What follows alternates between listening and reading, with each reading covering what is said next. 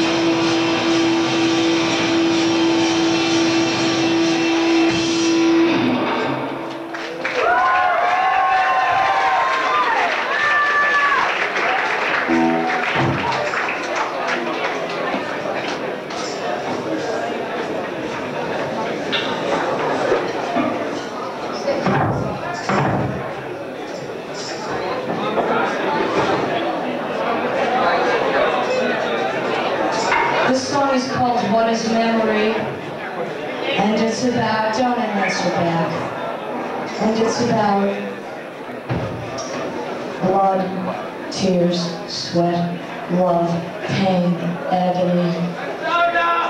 Right, you got it. Always in the